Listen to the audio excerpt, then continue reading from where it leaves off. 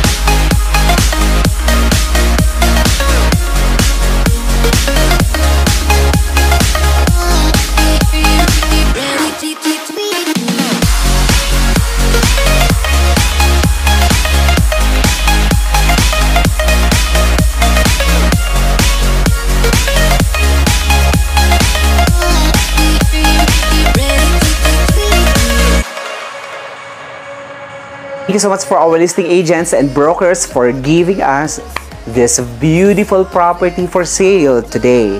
So before we start, no, thank you again and thank you sa ating mga subscriber na nasa US, Canada, California, New Zealand, Japan, Eastern and Western countries. So if you are looking for a farmhouse with swimming pool, with fruit-bearing trees, this is a Filipino design property. Well, this property attached to this um, service road two-lane service road with a total frontage of about 30 meters. This property can comfortably fit for 10 SUV. Of course, it has swimming pool with fruit-bearing trees and with a total land area of almost half hectare property or about 3,900 square meters. Very exciting Filipino house design with massive features and beautiful rolling terrain. Alright, so now we will check out this house first. So anyway, this is your balcony space, and this is your frontage, and you have two service gate. And let's go, Benji, and we will check out this Filipino house design. Anyway, this is totally wider. This is totally uh, spacious living space. So you have here the living area and your formal living space with a lot of window. Anyway, they are selling this property in the market for 25 million pesos negotiable. So if you are eh, looking for a property na reasonable price and negotiable, you can contact us on the number visible on the screen. Again, this is your living spot. And right here, another living space. And on the side is your library area or your den space. Plus, over here you have your bedroom. So, tamang-tama po ito for a family, yung mga elderly na hindi na nakakaakit sa taas. Kasi this one is bungalow with additional two-story house dito sa kabila. Alright, so over here again, you have your living spot and additional living space. See, look at the ceiling guys. This is very beautiful ceiling design. Try to appreciate the ceiling design and the height of this structure. See, beautiful. And over here, you have an access leading to your swimming pool. No, later on, we will explore the swimming pool. Aside from the swimming pool, you have the backyard, you have the vegetable area, you have fruit-bearing trees na talaga namang namumunga na. And over here, might be this one is your formal dining space. See? Nice spot. And again, over here, you have your additional balcony spot. Now, Before this one, we will check out the second floor and the bedrooms on the second level.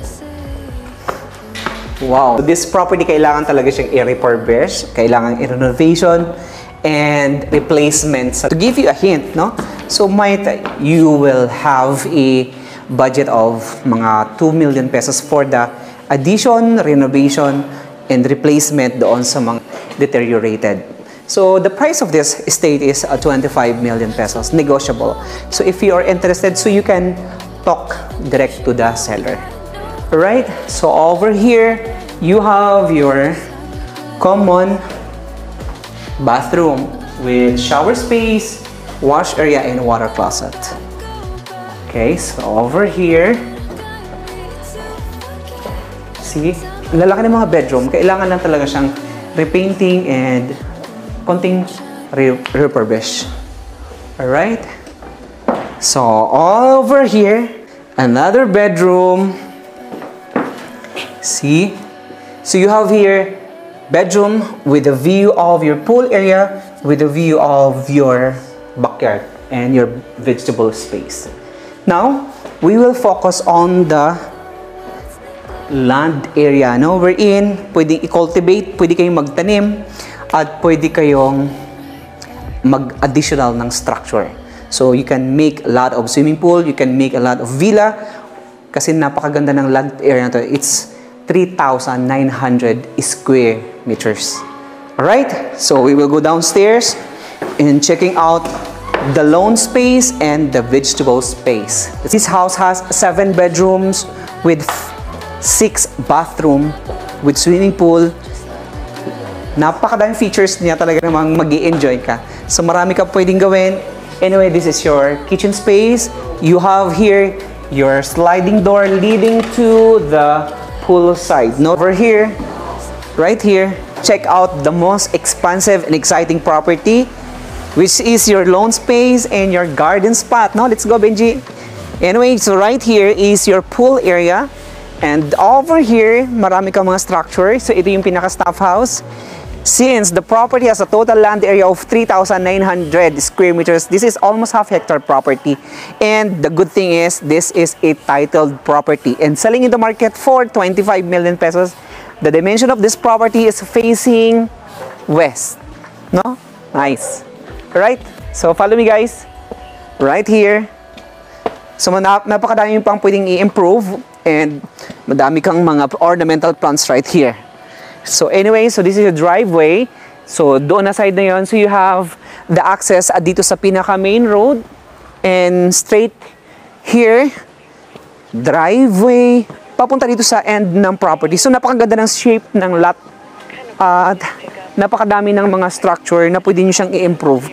So over here to my left side you have mango tree, may santol, may mangga, may chico. Guys, napakadaming mga fruit-bearing trees. And naka-fence na yung property. Of course, na makikita niyo po dito sa uh, lote, so na terrain, no? rolling terrain. Guys, look at this one. So you have langka. See? Wow. Alam ko hinog na yan. So check natin. Okay? See? Just imagine, no? inside sa property mo, you have a lot of fruit-bearing trees. Okay? And right here,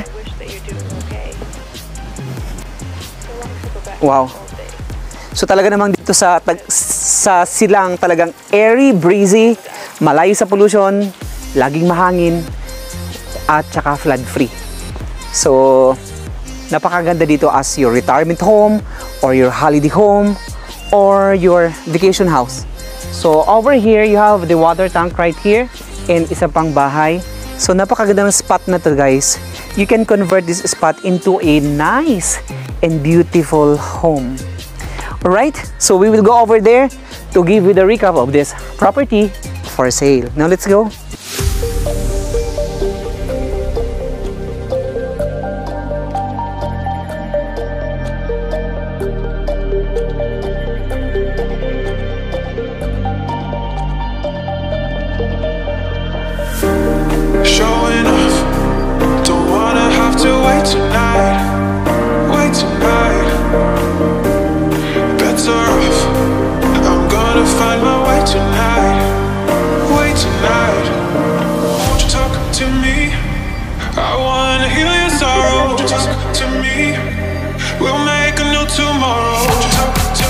For the recap, so we'll check out the pool side. See?